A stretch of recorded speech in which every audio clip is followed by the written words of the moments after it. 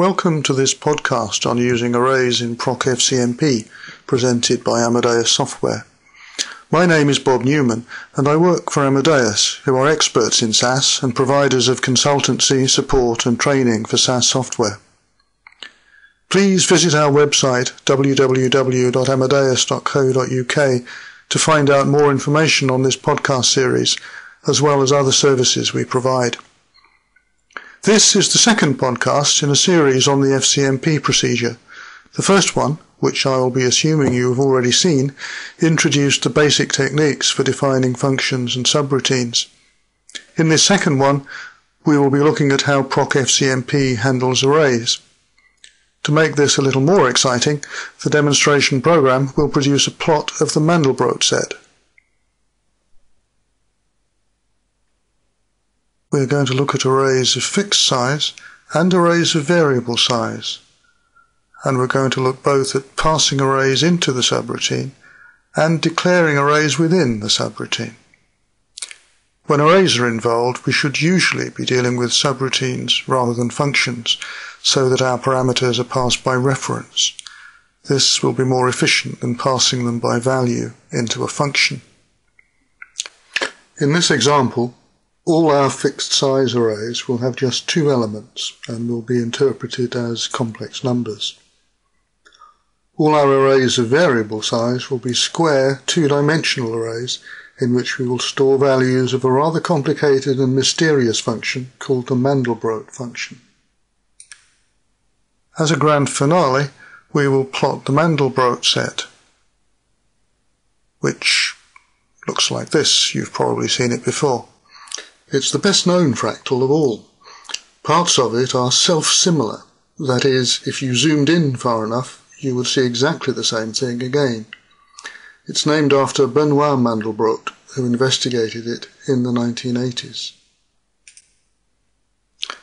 The calculations for the Mandelbrot set involve complex numbers, so we will begin by defining some simple complex number functions. A complex number is, as far as we are concerned, an array of two numbers. The first number is the real part, and the second, the imaginary part. We will try to avoid mentioning i, the square root of minus 1, in case that frightens anybody. First, we'll define a subroutine to add two complex numbers, and a function to calculate the magnitude of a complex number. We will store our functions and subroutines in library work.funcs in a package called complex. First, a subroutine called zadd, which adds two complex numbers. This has three parameters, the third one, z, being the answer, as we declare with an outargs statement. Each parameter is an array of two elements, and the array size is specified using curly brackets. Calculating the sum of two complex numbers is straightforward. Just sum the real parts and sum the imaginary parts. Notice that when referring to the array elements, we again use curly brackets. In ordinary SAS code, you may be able to get away with using ordinary parentheses for array references, but this is not ordinary SAS code. This is PROC FCMP code, and here it is essential always to use curly brackets with arrays. Parentheses are reserved here for function references. Z mod square is a function, but it uses similar syntax. The modulus of a complex number is a measure of its size, which we will need later. Let's run that code to define these functions.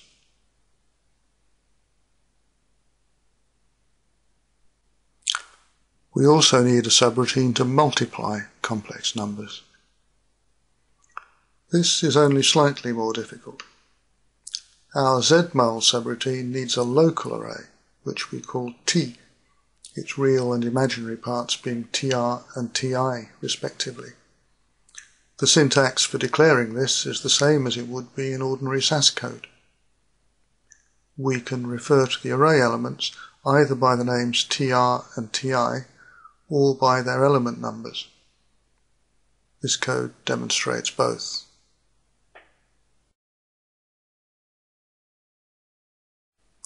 Let's run that code to define the function. So far, all we have defined are functions and subroutines to do elementary arithmetical operations with complex numbers, with the complex numbers being passed to them in the form of fixed-size two-element arrays. In ZMUL, we have also seen a temporary array of fixed size being declared locally The core of our program is a subroutine called Mandelbrot, which uses these arithmetic functions to evaluate the Mandelbrot function. For any point in the xy plane, this returns an integer value between 1 and nmax, nmax being a parameter to the subroutine. Although it's important to the demonstration program, this subroutine doesn't use any new procfcmp syntax. Two of its parameters are a pair of coordinates x and y, which are interpreted as a complex number c. Another complex number z is initialized to 0. The definitions of these two fixed size arrays c and z are really the only parts of this code that you need to understand. The details of the calculation are not particularly illuminating or important for our present purposes, but for the record, we then calculate a new value of z as z squared plus c. We repeat this process until z gets big, or for a maximum of n max times. The value of the function is the number of times we went round the loop. One can't help wondering what Mr. Mandelbrot was thinking of when he devised this bizarre function, but it does produce a pretty plot, as we shall see.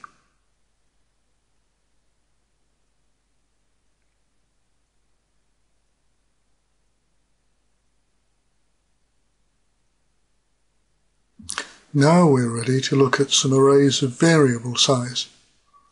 A function called MandelArray is going to populate an array with values of the Mandelbrot function. Admittedly, the only reason for doing it this way is to demonstrate the syntax. One array of variable size is going to be passed to this function as a parameter. We will also set up a local temporary array of variable size and then set its size to match that of the first array. The third parameter here, valout, is a two-dimensional array of unknown size. Its size will have been defined in the program that calls MandelArray. We use procfcmp's dim function to discover the size of the first dimension, then the size of the second dimension. Just to show that we can, we also set up a local array tumparray to be exactly the same size as valout. The syntax for declaring a temporary array in procfcmp is quite different from what it would be in ordinary SAS code. Having declared it, we can then use procfcmp's dynamic array routine to set it to the size we want. Both arrays are populated with values of the Mandelbrot function for evenly spaced x values ranging from vmin to vmax and evenly spaced y values ranging from vmin to vmax we'd better run that code as well. Now we're ready to create a dataset we can plot. The array passed to the MandelArray subroutine has to be declared as a temporary array using the standard SAS syntax. Yes, we are back in the real world writing ordinary SAS code again. We now turn the data from the array into a dataset. Putting it into an array in the first place was an odd thing to do, but we had some syntax to demonstrate. The interesting range for the Mandelbrot function is for x and y both between minus 2 and plus 2. We set our data values and array size so that we will use every value from minus 2.1 to plus 2.1 by intervals of 0.005.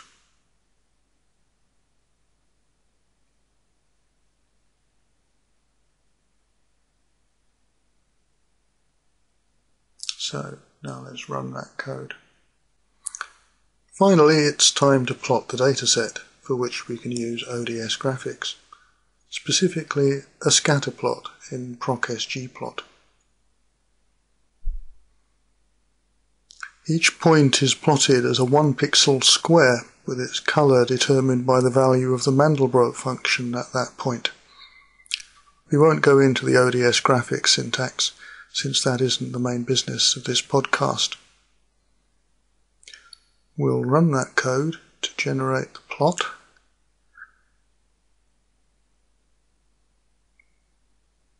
And now we can have a look at it.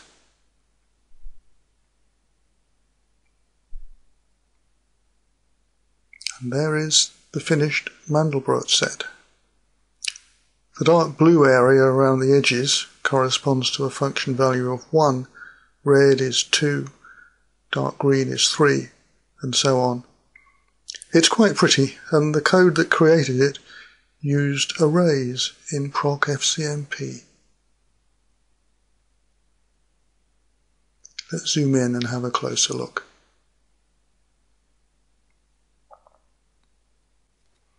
Further presentations on proc FCMP are planned, but that concludes this one. Thank you for taking the time to watch this Amadeus Software podcast. We hope you found it useful. Please make sure to check out the rest of this podcast series via our website. We also welcome any comments or suggestions you may have for future tips. Please feel free to contact us via email at info at amadeus.co.uk, by telephone on 01993 848 010, or by visiting our website at www.amadeus.co.uk.